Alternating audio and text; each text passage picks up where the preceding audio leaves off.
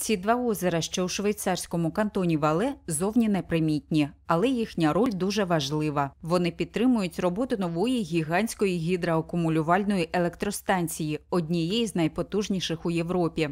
Такі ГАЕС вирівнюють добові неоднорідності графіка навантаження енергосистеми, тобто вони виробляють електроенергію на піку споживання, а коли її забагато, то споживають для своїх потреб.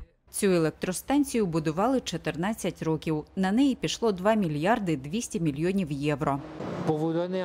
Тут можуть зберігатися величезні обсяги енергії до 20 мільйонів кіловат годин. Можливо, цифри вам мало що скажуть, тому я наведу приклад. Це відповідає місткості 400 тисяч батарей електромобілів.